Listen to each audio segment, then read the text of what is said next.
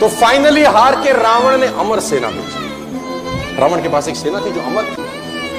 तो गुप्तचरों ने हनुमान जी को बताया कि प्रभु, कल अमर सेना आए विभीषण जी सारे परेशान हुए, राम जी परेशान हुए कि अमर सेना, हनुमान जी अब?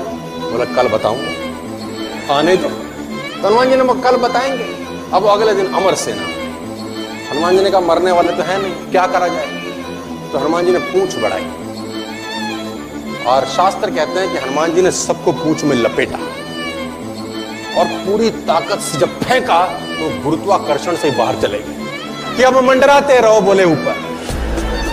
गुप्तचर पहुँचे रावण के पास। रावण ने बोला, सेना कहा है? बोला, महाराज, जाते देखी थी, आते नहीं देखी।